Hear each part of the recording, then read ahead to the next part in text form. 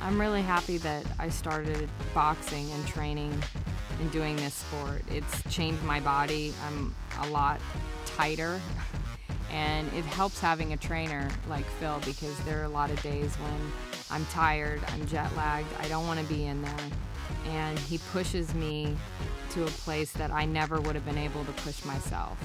And I always leave the gym feeling so much more alive and happy than when I walked in. And mentally, it's also um, allowed me to toughen up and just go to a place that I didn't know I had inside me. I started training Marisa maybe a couple of months ago, and uh, whenever she's in town, first thing she does, as soon as she gets uh, off the plane, she calls me up and says, Phil, you know, we have to get together. I want to work out. And I really uh, respect that, and I think it's great.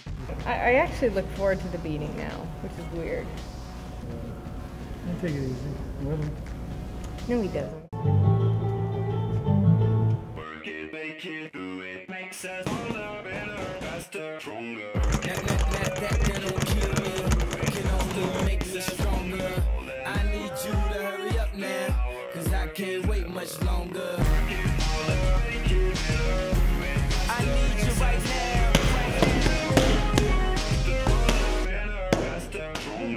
That, that, that, that, that don't kill me, can only make me stronger.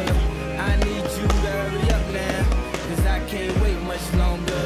I know I got to be right now, cause I can't get much stronger. Man, I've been waiting all night now. Does my hair look bad? Yeah, no, it looks good.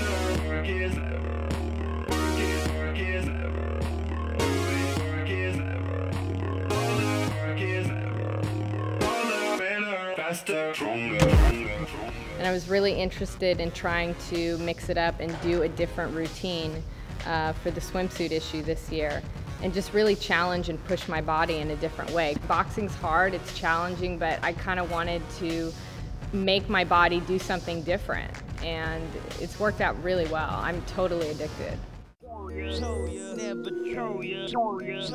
Never.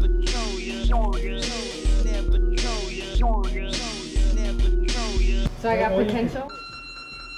I think you got a great, great amount of potential. Cool. All right, Okay. I'm out of here. Thank Uh, you. Good workout. I'll see you Thank you.